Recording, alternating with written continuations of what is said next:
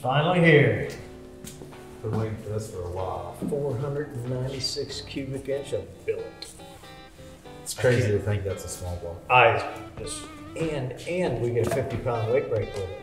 So, Yeah. so if this thing does what they say it's gonna do, it's a VD, Visner Engine Development, small block Chevy.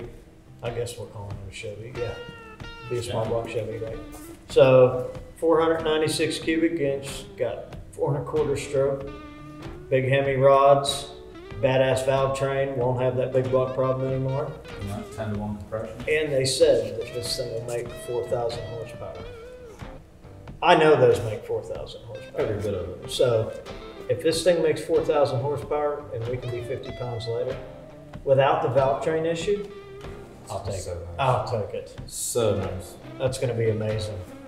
Less work, you know. It's uh, Theoretically. well, yeah. Well, Yeah. cool. I say let's uh, let's start building headers on this dude.